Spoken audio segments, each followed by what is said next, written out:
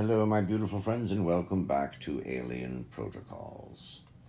So, this video is really going to dive into a lot of the meat and potatoes of the most extraordinary aspects of psi, esoteric, and many of the other phenomena that reach really extraordinary levels. And these are extraordinary physical levels. And thus, these are extraordinary levels of energy required to accomplish these things. So, we're going to briefly dive into how and what and the mechanics that I believe very few people get to understand at this level. And this is based on a tremendous amount of personal experiences, work with scientists, extraordinary events witnessed by large groups and researchers and under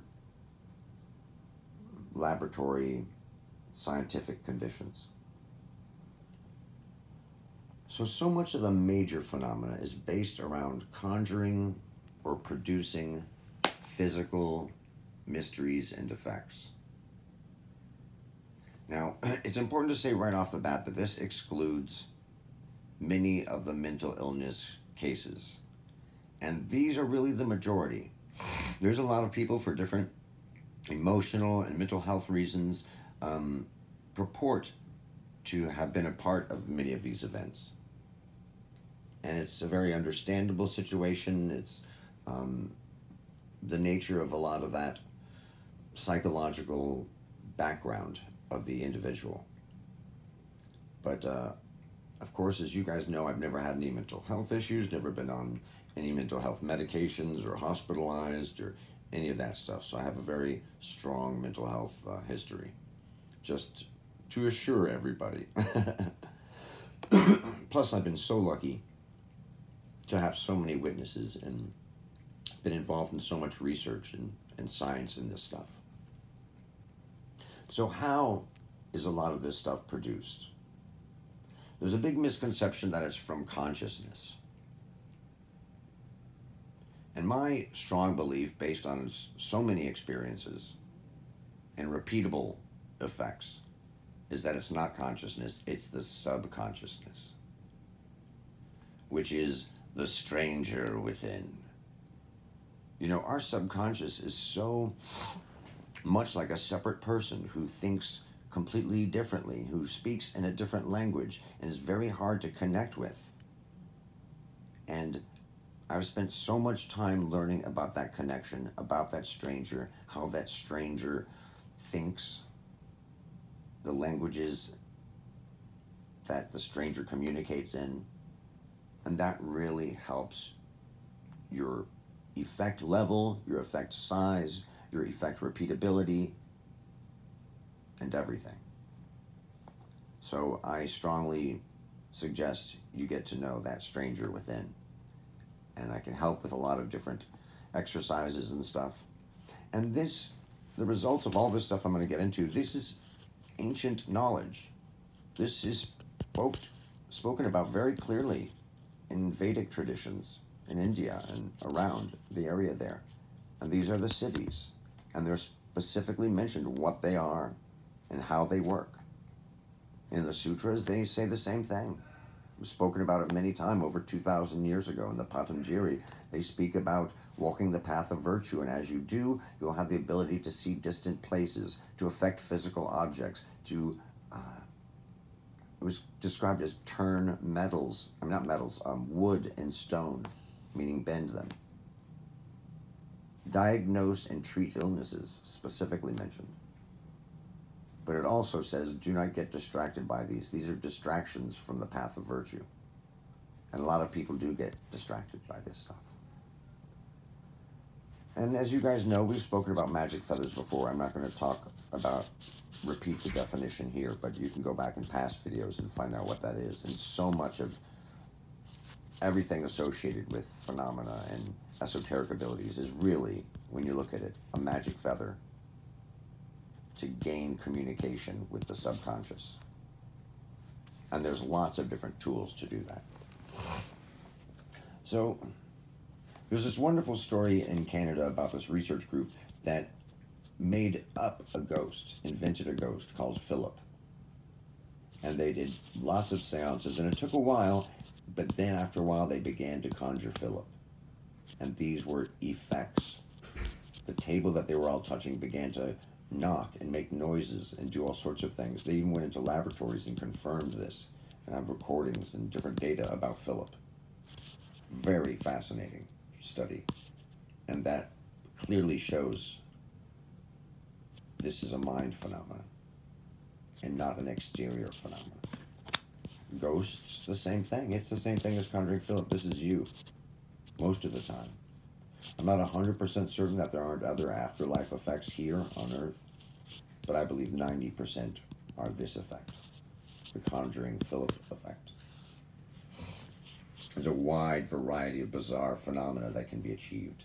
And these can be achieved accidentally. You, it can be achieved and you don't even know it's you. These are strange light effects. Things will light up and glow and sparkle, and a little flame can burst out of nowhere and then disappear quickly, but not burn anything. Tremendous amount of different phenomena. Possible and controllable ultimately, but often is mysterious to the creator. And this is evident at a lot of phenomena in paranormal locations.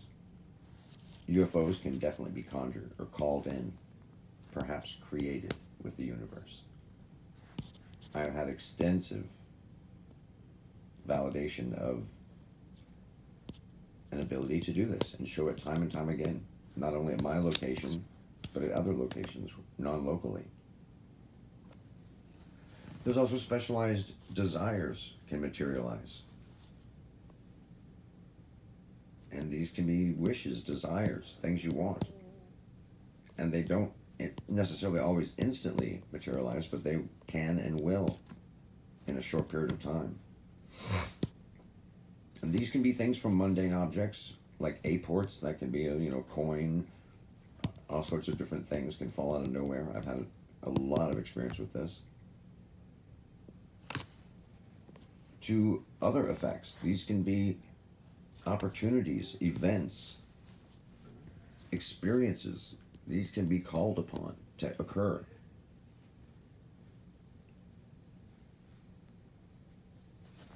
But it's important to also realize there's a lot of other reasons for some of these effects, and you have to always be very logical and very grounded and very scientific to make sure something natural or something more mundane is not responsible for these effects.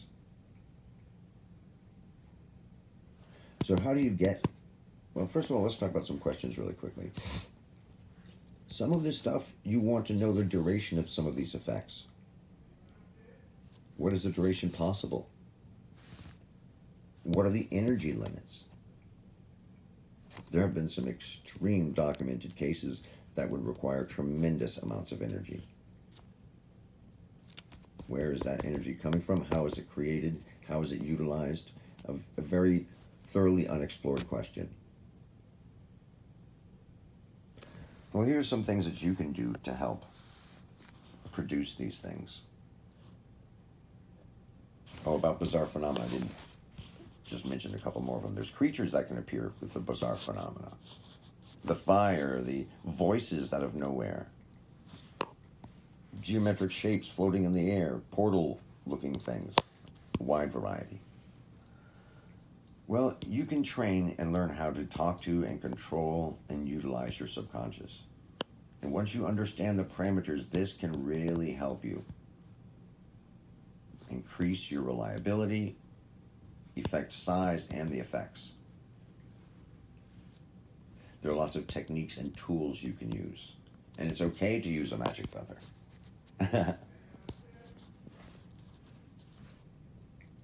you can bring into existence extraordinary things. And I know that for certain. from nanomaterials to beings to things you wouldn't even believe possible. What do you guys think? Much love.